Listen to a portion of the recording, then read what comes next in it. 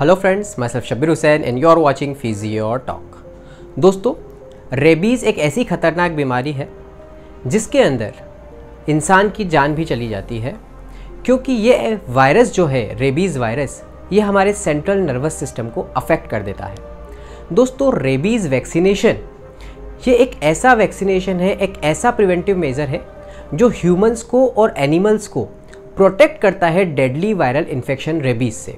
दोस्तों, आज की वीडियो में आपको यही जानकारी देंगे कि रेबीज़ वैक्सीनेशन क्या होता है, कितने तरीके का वैक्सीनेशन होता है और क्यों हमें रेबीज़ के लिए वैक्सीनेशन लेना ज़रूरी होता है। तो इस वीडियो को एंड तक देखना बिल्कुल ना भूलें। चैनल पर नए हैं, चैनल को सब्सक्राइब कर लीजिए और नीचे बेल आइकन को भी दबाना बिल्कुल ना भूलें ताकि आपको हमारे आने वाली वीडियो के नोटिफिकेशन मिलते रहे। तो चलिए शुरू करते हैं आज की वीडियो को।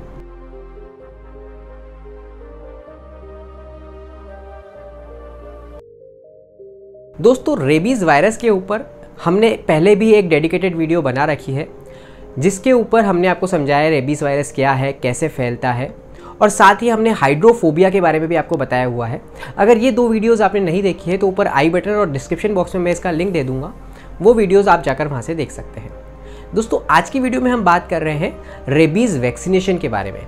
तो रेबीज़ वैक्सीनेशन के बारे में बात करें, उससे पहले थोड़ा ब्रीफ में जान लेते हैं कि रेबीज़ वायरस क्या होता है। रेबीज़ वायरस बेसिकली एनिमल्स के सलाइवा से इंसानों के अंदर फैलता है। मेनली सलाइवा से या स्क्रैचेस से इंसानों के शरीर में पहुँचता है रेबीज़ वायरस। दोस्तों, अब बात करते हैं इसके वैक्सीनेशन के बारे में। दोस्तों, इसके वैक्सीनेशन के दो की फीचर्स होते हैं।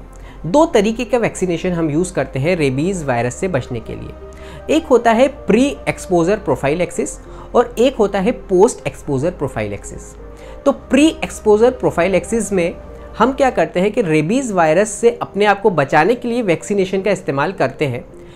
ऐसे लोग जो वेटेनेरियंस होते हैं या ऐसे लोग जो एनिमल को हैंडल करते हैं या ऐसे लोग जो लेबोरेटरी के अंदर वायरसेस के साथ डील करते हैं तो प्रिवेंटिव मेजर्स के रूप में वो अपने आप को मतलब एक्सपोजर हुआ नहीं है, ना ही किसी ने उनको काटा है, ना ही किसी ने उनको स्क्रैच किया है बट कभी फ्यूचर में कोई एनिमल उनको स्क्रैच करे तो उससे पहले उनके पास इम्यूनिटी हो, उसके लिए जो वैक्सीनेशन दिया जाता है, उसको हम कहते हैं प्री एक्सपोजर प्रोफ़ाइल एक्सिस दोस्तों, अब बात करते हैं कि पोस्ट एक्सपोजर प्रोफ़ाइल एक्सिस क्या होता है।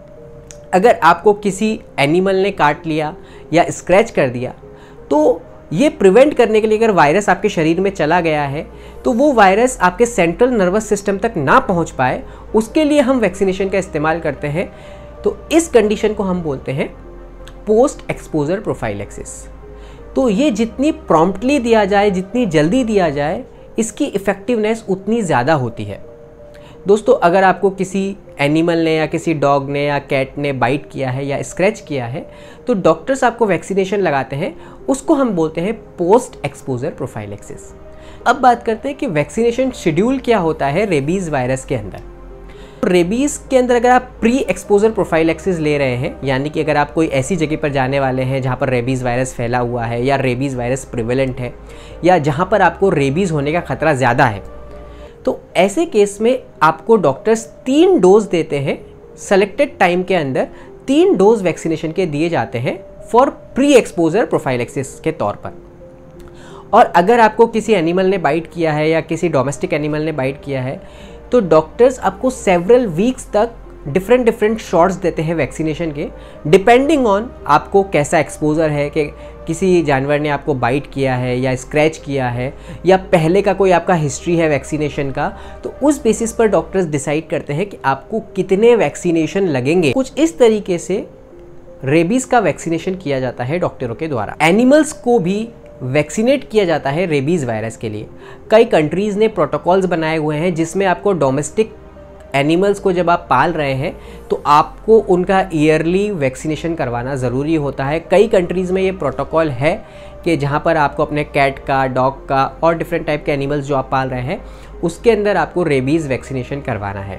दोस्तों रेबीज़ वैक्सीनेशन के ऊपर हमने एक डिटेल्ड आर्टिकल लिखा हुआ है। अगर आप वो आर्टिकल पढ़ना चाहते हैं तो उसकी लिंक मैं आपको डिस्क्रिप्शन बॉक्स में दे दूँगा, वहाँ से जाकर आप ये आर्टिकल पढ़ सकते हैं। दोस्तों, आज की वीडियो आपको कैसी लगी, नीचे कमेंट सेक्शन बताना बिल्कुल ना भूलें। वीडियो अच्छी लगी हो वीडियो को लाइक शेयर एंड सब्सक्राइब करना ना भूलें। Thank you for watching physio talk